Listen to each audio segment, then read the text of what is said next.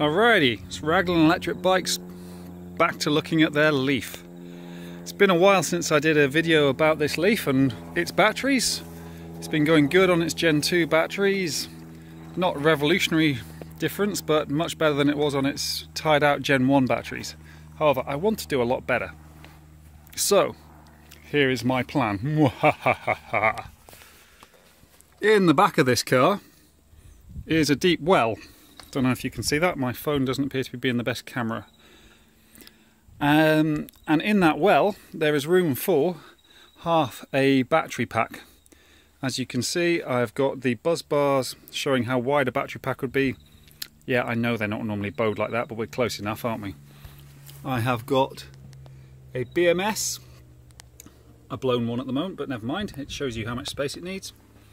I have got the big pack disconnect and the power relays and the output power connector. So essentially what I'm saying is there's plenty of room down there. I've got some clever ideas about how to wire this all up. Uh, I might try and make these cells, as you can see here, modules, sorry. Here's a module without its metal skin, and it's actually normally wired 2S 2P, but I can wire it 4S 1P and then I get the full pack voltage across here.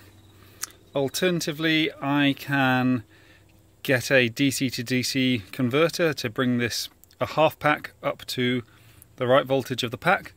Either way, this is a quick and dirty 50% range extender. Um, and if it works good, I might even try and turn it into a real product. Let's do what those real proper YouTube channels do. Click here if you would like to give me $3 million to help me do this. Click here if you're a gerbil. Click there if you're bored of hearing me speak and would like me to stop the video. Okay, you clicked that one. Thank you.